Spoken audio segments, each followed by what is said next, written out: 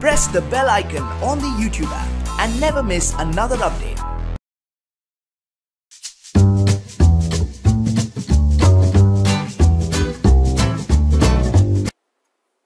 Hello guys, welcome to Tech Buddies. I'm your Tech Buddy Ayush Patel and we are back with another unboxing. So in this video we are going to unbox the G102 Prodigy. It is a gaming mouse from Logitech and it fits very well in the mid-range segment that is uh, like 1000 to 2000 bucks and I got it from Amazon at 1500 bucks. So I'll link it down below if you want to buy this and uh, let's proceed with the unboxing. So from the very first looks of it, the box is pretty minimalistic, unlike the CG Marksman 4 on which I did an unboxing some days before. It has a DPI range of up to 6000 DPI and a lifetime click validity of 10 million clicks. I would also like to add that after the software update, the DPI range has been increased to 8000 DPI about which we will talk a little later. And uh, let's actually open it. So let's open it first. Yeah so as I told you the box is very minimalistic it is not that sturdy. So let's open it up and see what's inside the package. First let me fold this okay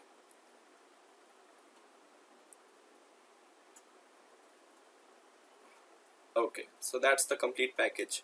And I'm quite disappointed with the packaging but uh, I think that will do.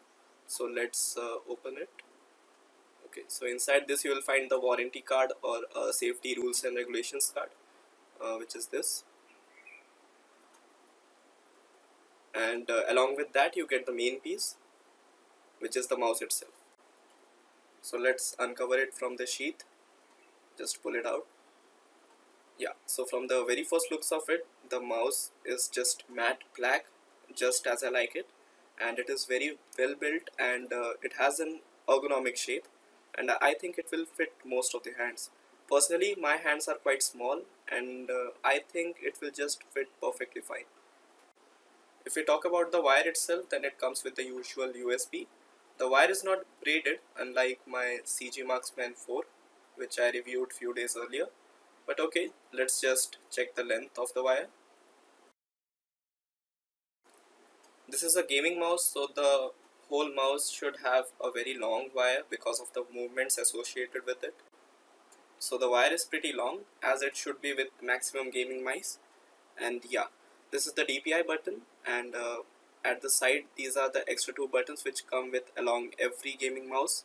And uh, this is the Logitech logo embossed and uh, this is the RGB lighting section.